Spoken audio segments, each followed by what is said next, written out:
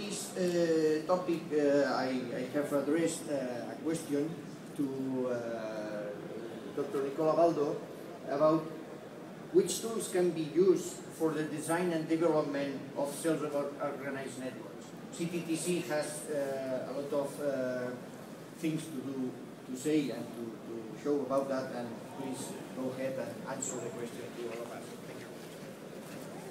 Hey, thanks very much, Albert, for the introduction. So, well, very, very broadly speaking, with a kind of rough simplification which helps to understand the problem, uh, there are two big methods to do the uh, design and development of a self-organized network algorithm, which has been considered was in the past for the development of several wireless technologies, for example 3G and so on. And well, you can do simulations, and you can have a test bed with a prototype and testing in, uh, real field.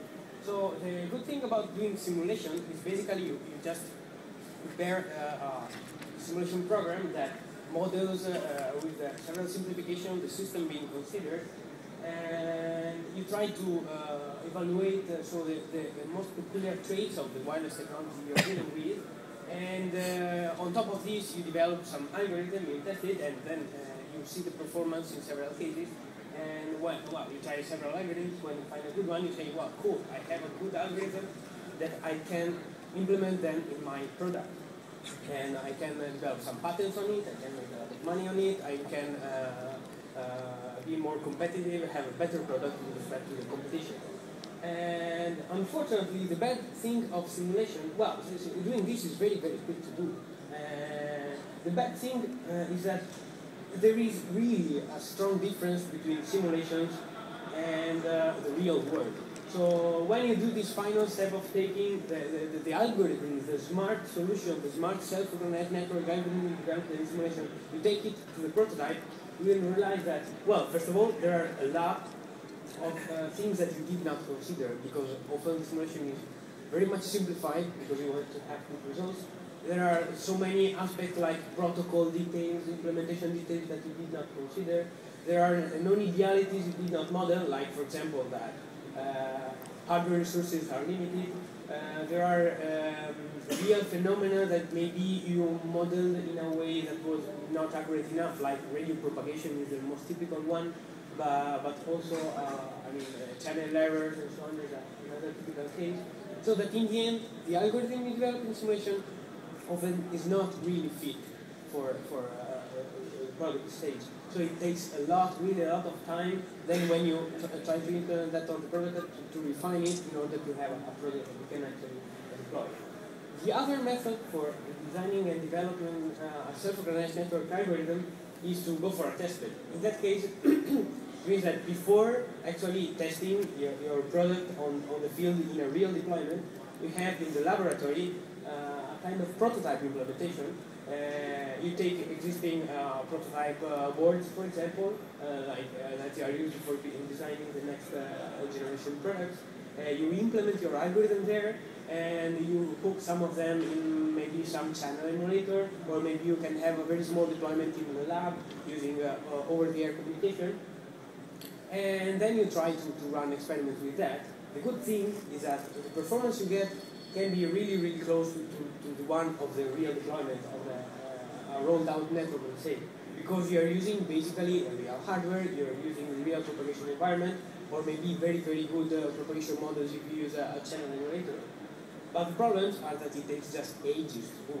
So working directly with a prototype, if you want to test several algorithms, it will take a lot of time to implement all of them. And then it also takes a lot of time to do the experiments to evaluate them. So that, for example, if there is a, some error in the design and then you, you need to refine the algorithm in order to iterate over all these, uh, you know, refined version of the algorithm, uh, design it, then implement it, then test it again, uh, then find another error and start all over again. It takes really a lot of time. Simulation was much better in this respect, so we really wanted to have something uh, more like simulation with respect to the speed and more like tested with respect to, to uh, being close to the real world. Another issue with testbeds is that, uh, well, the results often are not reproducible in the sense that uh, you know, maybe you try uh, deploy some nodes. For example, you could have a testbed here and put some nodes. Then maybe one day there is a lot of people working. You get some results that uh, cause bad performance. You think there is a flaw in the design. You go back to the algorithm and tune it so that it will uh, address this problem. But then maybe the next situation in which you test uh, who knows, maybe there is less people walking around, maybe the weather is doing something strange, maybe the stars are aligned in some fancy way that causes your product to behave differently. So it's difficult to isolate the randomness of the uh, experiment uh, environment from the actual behavior that you want to address with your algorithm. Uh, and, and, again, this is something that, on the other hand, can be done uh, very well in simulation. Because in simulation, you can repeat every experiment in the same condition because the environment is entirely under your control. So the question is, can we develop some test platform that allow us to, to get the best of both worlds? And, well, the answer that uh, we try to come up with is uh, the Lena project, which is a project that was uh, uh initiated and funded by Ubiquisys. And we at CTTC we are very, very glad of this collaboration. And basically, we have developed such type of, say, more product-oriented simulator, specifically for LTE and EPC technology. And the idea is basically to have uh, a platform that allows to develop self-organized network algorithms for LTE uh, with primarily, for example, radio resource management in mind, but also, uh, say, um, other type of resource management algorithm, for example, taking into consideration uh, backhaul uh, limitation or end-to-end -end communication problems uh, are an objective to be tested on this type of platform. And um, the idea is that this platform should be uh, available for uh, all uh, vendors and also for operators to compare the performance of self-organized network algorithms proposed by different vendors. And uh, well, we say that this uh, uh, evaluation platform is product oriented for, well, a few specific reasons.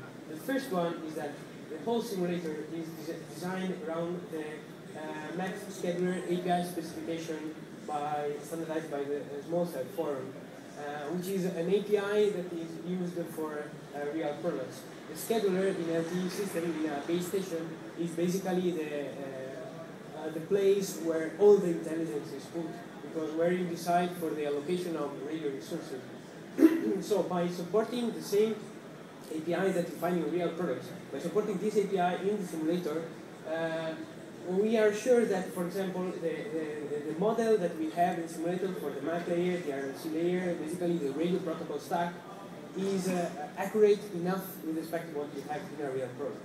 Uh, there will be minor differences, but for example, these will be way, way better than a lot of uh, system-level simulators that have been used previously, for example, with 3G networks.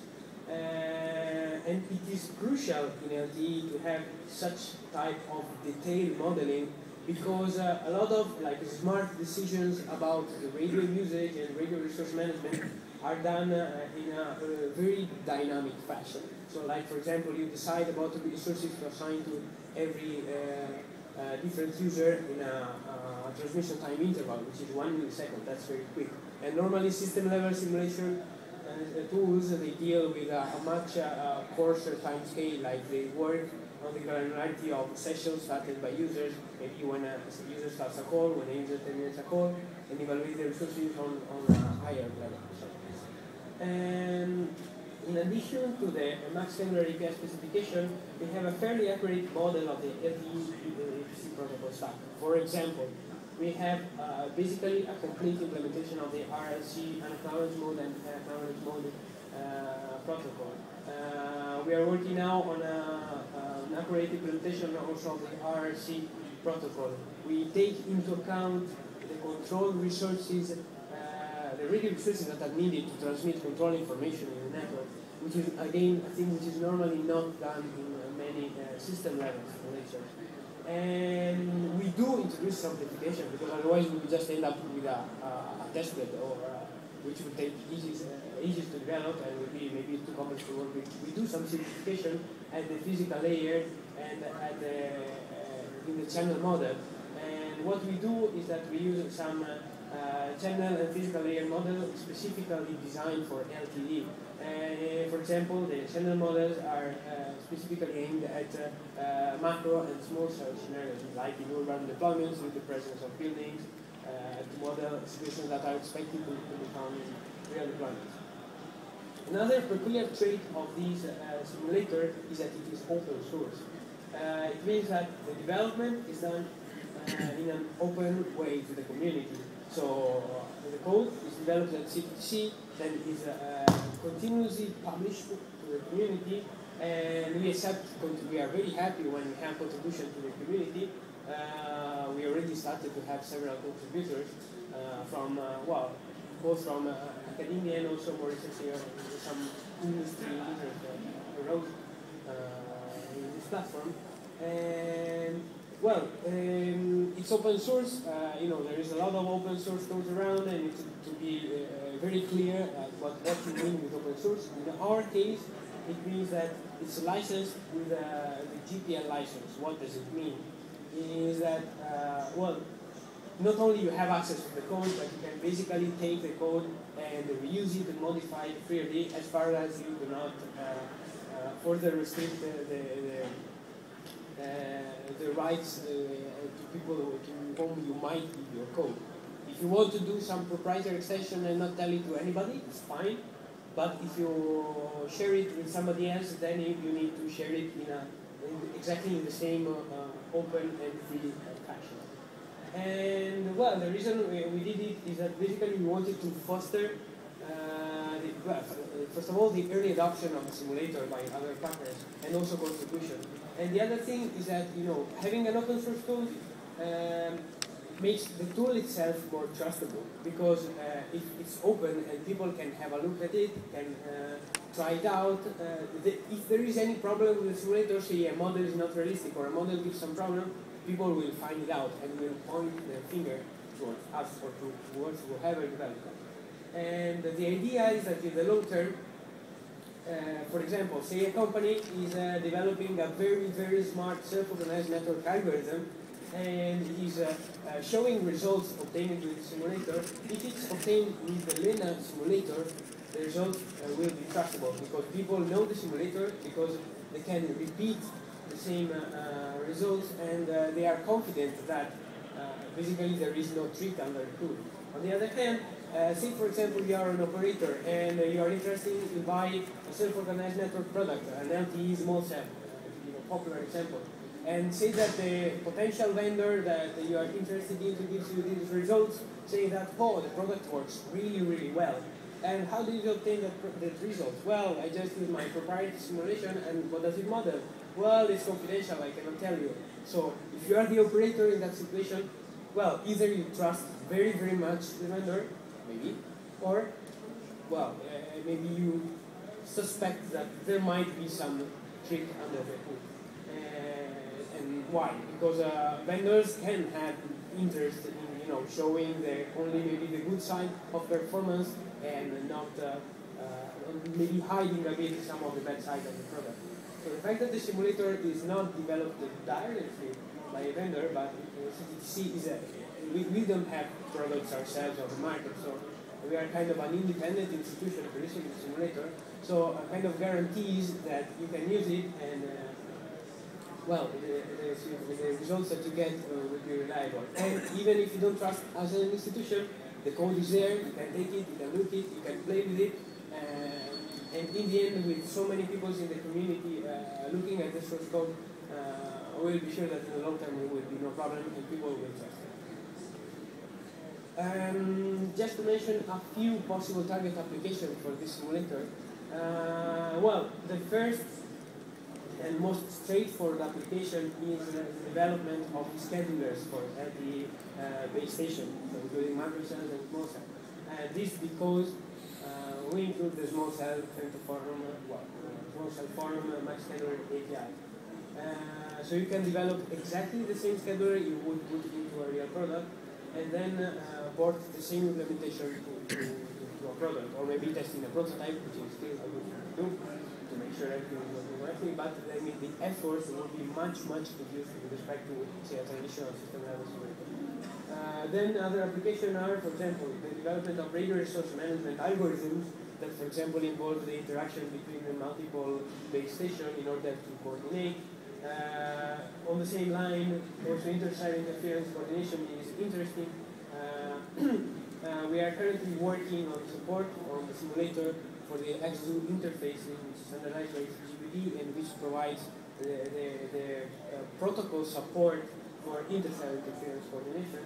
Uh, in a general sense, it supports you know, the uh, simulation of uh, heterogeneous network scenarios following the 3GPP definition of HetNets, but also more, a broad type of, a more broad definition of HetNets that might involve other technologies such as, for example, Wi-Fi. Uh, the reason for this is that so the LENA simulation model is developed as part of the NS3 open source simulator. Uh, so the LENA model itself focuses on LTE, but uh, the NS3 open source simulator, simulator provides other models, such as, for example, a Wi-Fi model, so TCP/IP protocol stack implementation, uh, IPv4 IPv6 implementation, lots of different applications. You can also use it for WiMAX and for other technologies. So all this together provides a very, very powerful tool which, which you can use to simulate, for example, uh, multi-RAT scenarios, which are very popular these days. Also, for the same reason, since we have, thanks to the NS3 simulator, uh, we can also use, you know, uh, complete TCP/IP protocol stack and real applications. Uh, we can actually test uh, the quality of service provided by self-organized network solution on an end-to-end fashion. And again, this is something that normally you cannot do with, uh, say, a system-level LTE simulator. Uh, well, I already mentioned multi-RAT networks, and finally, another item that is very interesting to do with this tool is a cognitive LTE system, where you might investigate, say, uh, intelligent ways of using uh, the LTE spectrum, first and foremost, you know, with dynamic configuration, possibly evaluating the possibility of sharing spectrum among operators, uh, maybe using uh, different type of operators, such as the high power and low power operator scenario that was uh, uh, pushed forward by Ofcom uh, in recent consultation. And also you could test different things like LTE system in the TV white spaces or I guess sometimes why not? The simulator really provides support for doing that. Uh, well, I think that concludes the talk. So I leave it to Albert for the final. Thank you very much, uh, Nicola. And, and now, ladies and gentlemen, Visit cttc.es for more information.